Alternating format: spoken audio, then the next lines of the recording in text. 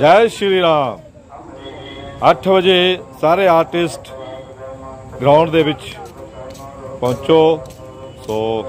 thank you very much ਜੈ ਸ਼੍ਰੀ ਰਾਮ ਭਾਈ ਤੁਸੀਂ ਆ